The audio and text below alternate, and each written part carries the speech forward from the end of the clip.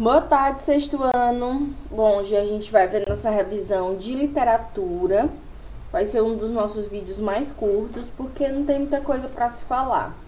Vocês precisam mesmo ler a obra, ler o conto e darem uma revisadinha nas características do, do tipo textual narrativo, porque eu irei pedir algumas coisas relacionadas ao livro mas que se relaciona aos elementos do tipo textual narrativo. Bom, o livro que nós leremos, né, para para realização da nossa prova de literatura é o livro Bárbara de Murilo Rubião, que é um conto do Murilo Rubião ilustrado pela Marilda Castanha. Então nós temos aí a contação de uma história e essa história vem com os recursos linguísticos, que são as palavras, que é o conto em si, e os recursos extralinguísticos, que são as imagens, as ilustrações, que nos ajudam a construir o sentido desse texto. Então, observem tanto o linguístico quanto o não linguístico. É, o livro, né, o enredo, como a gente já falou, é, retrata a história de Bárbara pela visão do seu marido. Então, nós temos é, o marido como o narrador da história. Então, nesse caso, se trata de um narrador que é personagem dessa trama. Então, se por acaso a prova perguntasse é, qual o foco narrativo do conto Bárbara, foco narrativo seria narrador-personagem, porque a história se passa a partir da visão do marido que participou da história acerca das coisas. Então, é basicamente isso quando eu me refiro ao foco narrativo. É... Movido por um amor igualmente estranho, o marido esforça-se de todas as formas para atender os desejos de sua amada. Onde esta história vai terminar? Essa é a base do conto Bárbara de Murilo Rubião. Bom, no conto há uma progressão. Há sempre a Bárbara sempre pedindo coisas para o marido, e essas coisas ao longo do conto vão ficando cada vez mais absurdas. Ela vai pedindo coisas elementares até o dia que ela pede o oceano, o dia que ela pede as estrelas e ele vai buscar. Então a gente tem aí essa progressão de acontecimentos. Então, se eu fosse pedir alguma coisa para vocês sobre o um enredo, para que vocês resumissem a história, então vocês teriam que colocar essa progressão de acontecimentos que acontece na história. Como se iniciou o desenvolvimento e como que a história terminou, né? Não quero dar spoiler, preciso que vocês leiam, então não posso é, adentrar muito no assunto do livro em si, no final, no desenvolvimento, preciso que leiam. É, por mais absurdo que pareça, encontrava-me sempre disposto a lhe satisfazer os caprichos. Isso é um trecho do livro.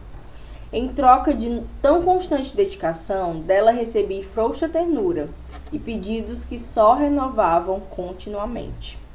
Não os retive todos na memória, preocupado em acompanhar o crescimento de seu corpo, se avolumando à medida que se ampliava a sua ambição.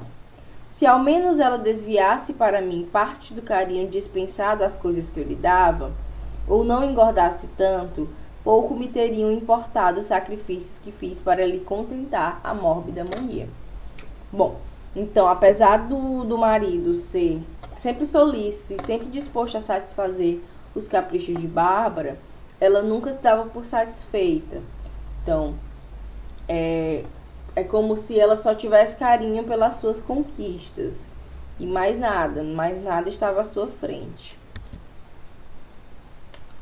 Aqui é quando ele vai, né, é, buscar o oceano para ela, mas aí ele se depara com a grandiosidade do oceano e traz só uma garrafinha d'água contendo a água do oceano, que não é suficiente para a Bárbara. É...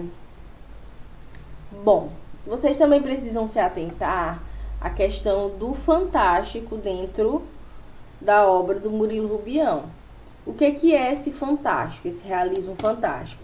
São coisas que aparentemente estão na ordem do real, na ordem normal e natural das coisas. É um marido, é uma esposa, vivem juntos, é, a esposa é mandona, é caprichosa e o marido é, como é que eu posso dizer? E o marido supre esse capricho dela, faz tudo o que ela quer. Até aí está dentro dos limites do real, é uma realidade que pode acontecer, que acontece. Só que os fatos a serem desenvolvidos dentro do texto têm um pezinho na fantasia. Por exemplo, que em sã consciência acorda no meio da noite para ir buscar estrelas para a esposa e reza porque ela não pediu a lua, entendeu?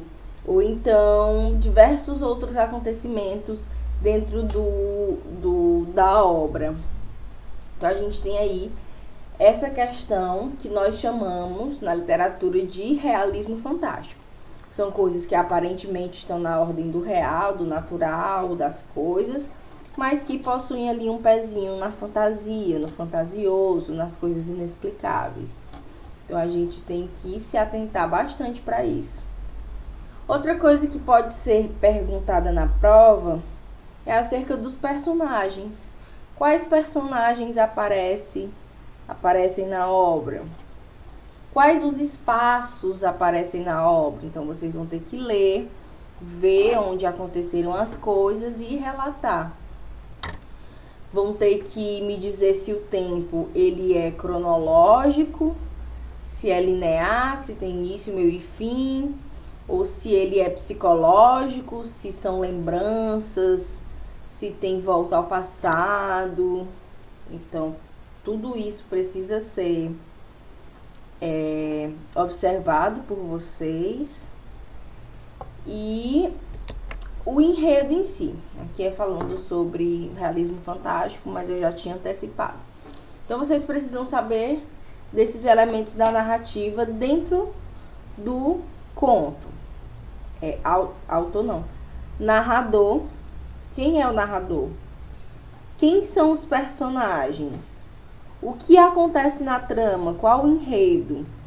É, onde acontece essa trama? Não só um lugar, podem ser vários. É, quando acontece essa trama? Qual o tempo? É o tempo cronológico, o tempo psicológico, como funciona? Então, percebam esses elementos da narrativa dentro do conto. Feito isso, vocês estarão completamente é, preparados para realizar a prova de literatura. Porém, sem a leitura do conto e sem observar essas características da narrativa dentro do conto, é, não será possível uma boa execução da prova. Então é isso. Quem tiver de certa forma alguma dificuldade, não tiver com livro, alguma coisa do tipo, me envie mensagem via WhatsApp que nós resolveremos. Nossas provas começam próxima semana e é preciso que vocês estejam super, super, super, super antenados. Beijão e já já tem outro vídeo corrigindo a nossa atividade.